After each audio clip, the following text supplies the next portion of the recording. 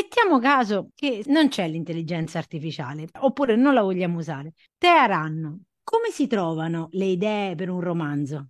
Allora, io dico sempre una cosa, la mia è una premessa, che gli scrittori sono ladri, devono rubare, devono rubare da tutto quello che vedono, che ascoltano, che toccano, eh, che annusano, che gustano. Gli scrittori possono trovare l'idea per una storia dentro la loro vita, ma anche nelle vite degli altri. Dentro la loro vita significa che se per esempio vedo un bambino, la storia di un bambino che si salva da un rastrellamento nazista salendo sul tram, mi posso dire è una storia bellissima e questa storia la voglio scrivere.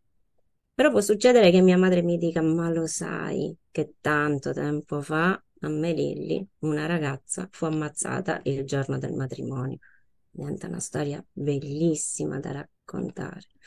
Ma può anche succedere che io mi imbatta eh, negli atti di un processo per stregoneria. Io sono una giurista.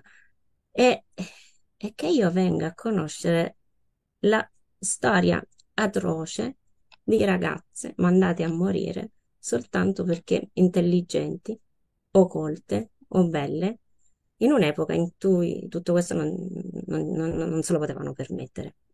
E questa diventa l'idea per scrivere una storia. Allora, da dove nasce l'idea? Da tutto quello che ti emoziona, almeno per me funziona così. Eh. Io, ognuno, poi ogni scrittore ha i suoi strumenti e i suoi metodi. La mia benzina, lo dico sempre, sono le emozioni. Se un, un, un, un fatto, un episodio, una parola eh, mi mh, mm, fa scattare dentro di me un, un brivido, un cortocircuito emotivo, allora diventa una potenziale, un potenziale racconto, una fiaba, una favola o un romanzo. Quindi l'intelligenza artificiale.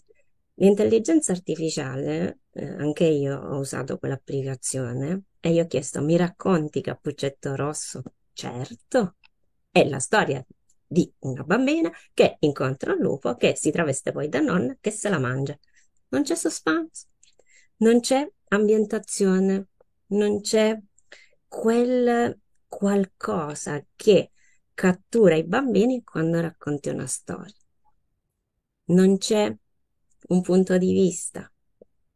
Allora, l'intelligenza artificiale, quando gli ho chiesto, scusami, come faccio a trovare l'idea per un romanzo, ha, è, uscito fuori un papello, guardati intorno, leggi i libri, vedi le esperienze degli altri, ma l'ha detto, eh, è stato proprio perfetto, mi ha, mi ha detto tutto quello che devo fare per trovare l'idea di un romanzo.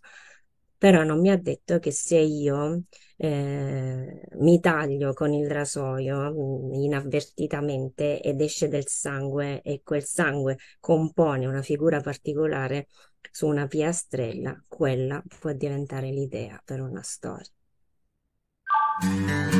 Farmacia letteraria, un podcast della scuola di scrittura Genius. Se avete una domanda, mandate un vocale 351 877 9461. Radio Genius. Se ti piace, metti mi piace.